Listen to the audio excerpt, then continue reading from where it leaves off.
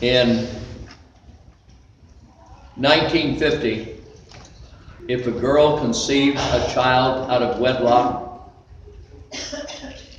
it would humiliate the parents down to their shoelaces, and the poor daughter would be sent away to an, another family, a relative far away.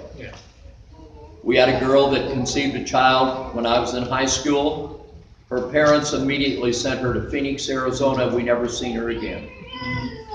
They did not want to bear the shame and disgrace of a pregnant daughter. I cannot tell you how many girls conceived a child in the Nevada Public School last year. You don't want to know. Right. Most high schools today have a caretaking facility to take care of the children born to single pregnant high school girls. Yeah. You think that, is that true? Yeah. Telling you the truth. America's lost its virtue. Amen. We are a nation without shame. Right. There's nothing that would embarrass this country today. It's true. In 1950, America could blush. Yeah. It wasn't a perfect society. In 1950, my grandfather, Jess Francis Cruz, stood on this hilltop up here and condemned the sin and wickedness that he saw in 1950. And he made us feel this Oh, yeah. high because from his point of view, he remembered America in 1900. And he would tell us what America was in 1900, and we got the feeling that we were nothing but a bunch of wicked slobs. Yeah. Amen. Even though we were church going people, and as far as we know, we weren't doing anything wrong, Yeah. but apparently we were. I don't know what we were doing wrong. He never got that specific. He didn't meddle that close. Now, in 1950, there was no gender blending. It, in 1950, for someone to claim that God is feminine, they would think you had just escaped from the nut house. Yes. I'm, I'm serious. We don't have those. That would have been something people would have thought, well, that guy's, that guy's lost his marbles. You know, to think that God is feminine, or to think that we've got to blend, gender blend, we've got to live in a gender blended society, that's hogwash! Was unheard of in 1950. I can't even imagine. In 1950, you wouldn't believe how girls dressed with their saddle. Does anyone remember saddle oxfords? Yes. Well, they, I mean, girls dressed so uniquely girlish that the, you could never mistake their identity. And the skirts were below, the, the hem was below the knee, Thank you, girl. almost to the ankle. There's a 1950 girl. That's right. Now, church, it's amazing how far we've come, and that all took place since 1950. Yeah. 1950.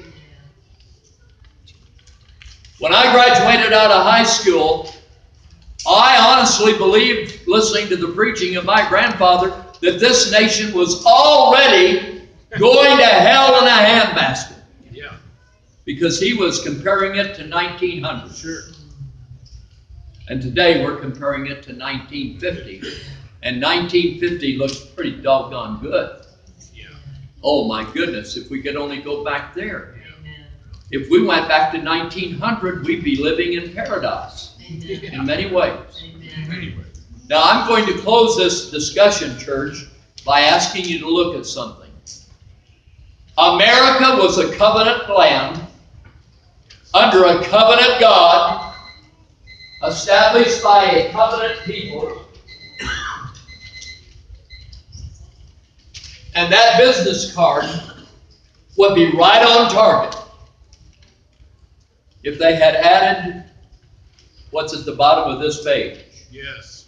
That our founding fathers, our pilgrim, Puritan fathers, in the early 1600s, when they arrived on the shores of this nation, their first effort was to kneel and pray and enter into covenantal pledges with their God. Amen.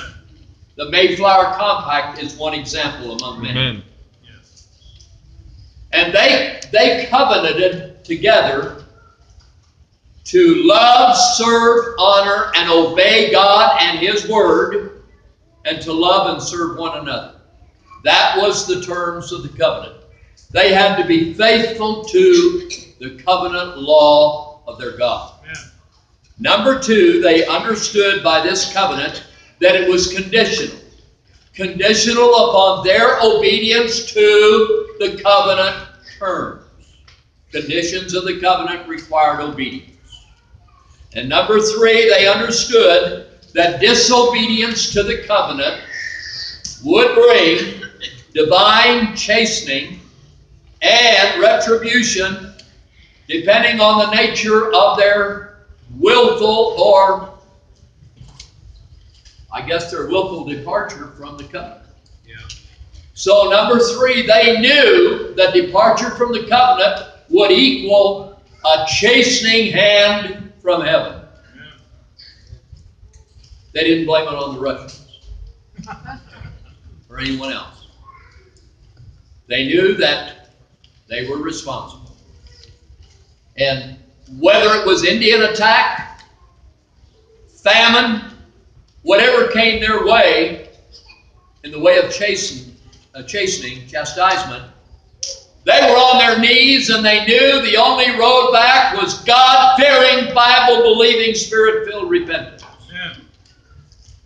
Only heartfelt repentance and turning from their wickedness would restore the covenant and avoid national apostasy and or catastrophic judgment from God.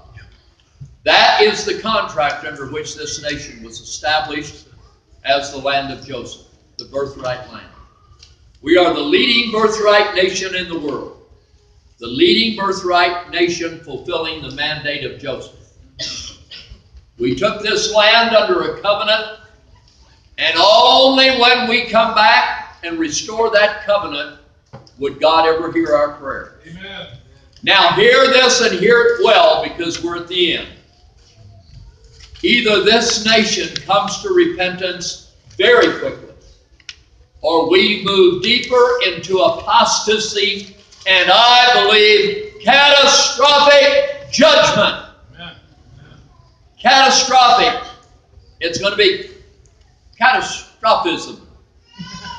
It'll be worse than Sodom and Gomorrah, Noah's flood, and all the other catastrophic events. You write down all the list of the most cataclysmic events you can write down. Put them all together, that's what's coming our way if there's no repentance. There was a little glimmer of hope. I got a call at 4 o'clock this afternoon, 4.30, I'm sorry, a good friend of mine that was down in Springfield. He said, if you did not know what went on at the Trump rally, I'm calling you to let you know. He said, there were far more people on the outside of that rally than there were on the inside, and he was on the inside barely. And he said the outside swelled with so many people that they lost all their ability to estimate crowd. But he said what he did observe were people that were actually praying, praying in the line while they waited. Hallelujah. He said that he heard delivered probably the most heart stirring call to repentance that he had ever heard